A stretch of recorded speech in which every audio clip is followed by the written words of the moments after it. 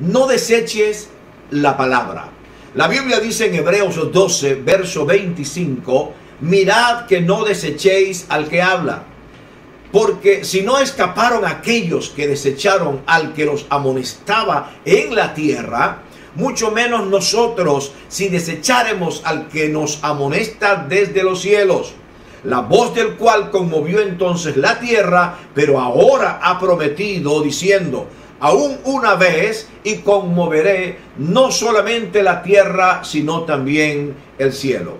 Hay consecuencias nefastas, muy delicadas, cuando usted desecha el mensaje de Dios.